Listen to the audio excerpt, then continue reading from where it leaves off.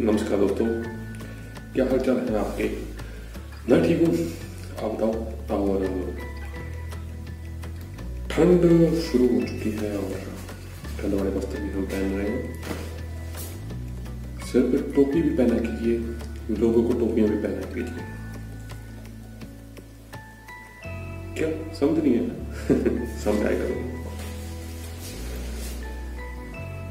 टोपियाँ पाया करो बेटा क्या करना आज का हमारा टॉपिक है टोपी।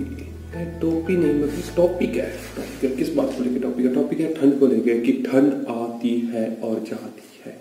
तो ठंड में आना भी है भाई, जाना भी है। क्योंकि ये कुदरत का करिश्मा है और अपने बाप की जायदाद थोड़ी ना है।